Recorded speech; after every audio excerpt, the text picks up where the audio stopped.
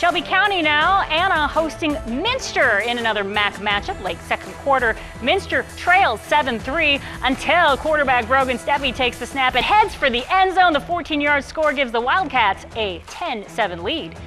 Ensuing Rockets possession, Alex Shappy puts the ball on the money to Noah Otterfahar for a 34-yard gain, and the Rockets continue to go to the air.